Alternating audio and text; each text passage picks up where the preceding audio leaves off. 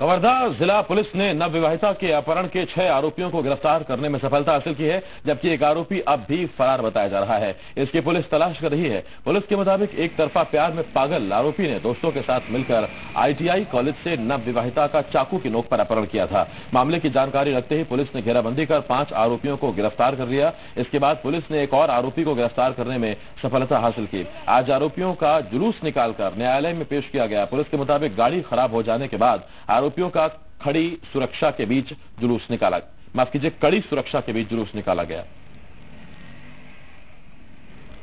न्यायालय में पेश किया जाना था।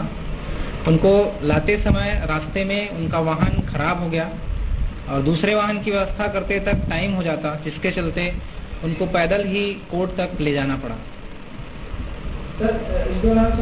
एक आरोपी फरार चल रहा है तो उसकी पतासाजी लगातार चल रही है।